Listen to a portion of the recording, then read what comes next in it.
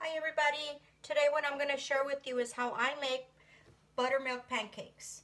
This is one of my favorite batters that I make pretty frequently and it's real easy. The first thing that we're going to need is one and a half cups of all-purpose flour, one and a quarter cups of buttermilk. If you don't have buttermilk, you can use just plain milk or you can make your own buttermilk. It's one teaspoon of vinegar to one cup of milk.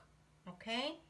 And then we're to need two tablespoons of sugar, one egg, two tablespoons of melted butter, two teaspoons of baking powder, one teaspoon of baking soda, one quarter teaspoon of salt, and what I like to add for flavor is one teaspoon of vanilla. If you don't like the vanilla flavor, you do not have to add it. But it gives it a real nice cake-like taste. Okay, and the first thing that we're going to do, this is real easy. You do not beat this batter very much, is you take your flour,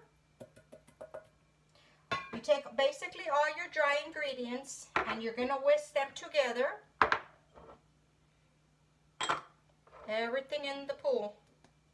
All the dry, and you're just going to give this a whisk. Okay, and then all the wet ingredients, we're going to pour them in together and we're going to whisk these together.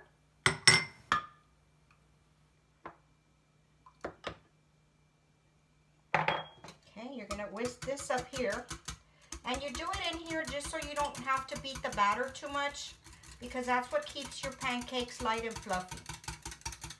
And this way you break up the egg and incorporate. Okay, now that this is combined, pour it into our batter and you give this a whisk.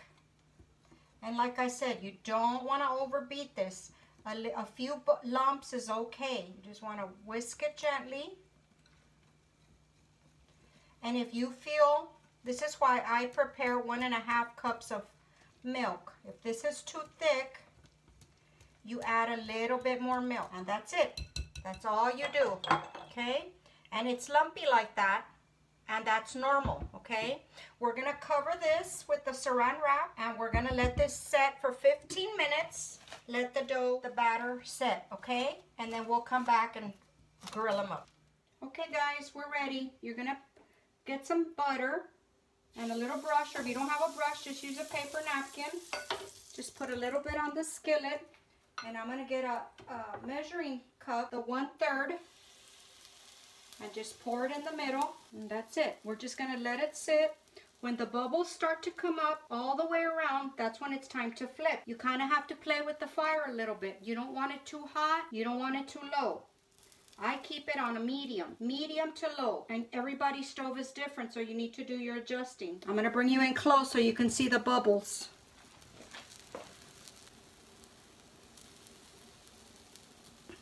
I hope you could see that. See how the bubbles start coming up? And then if you can stick your spatula under there, you can take a look. And I see mine is ready. And we flip.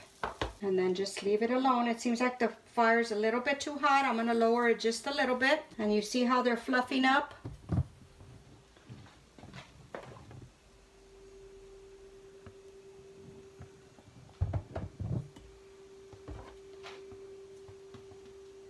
And just make sure the brown, the bottom side is not burning. And that's it. And then repeat.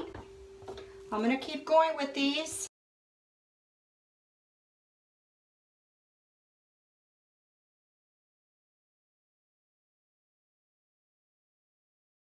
Okay guys, so here's the finished product. And out of this batter, you get nine medium pancakes. You can make them smaller or thinner, that's up to you. But this is how they look.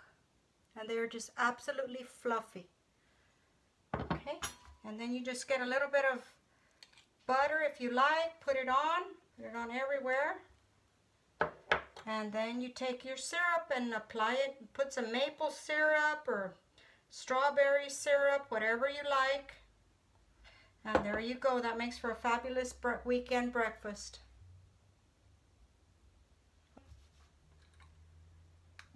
Okay guys, that's going to conclude the video for today. I hope you enjoyed it. If you did, please give us a big thumbs up, subscribe to our channel, and go visit us on Facebook at Virtual Kitchen with Laura. Okay guys, see y'all later. Bye.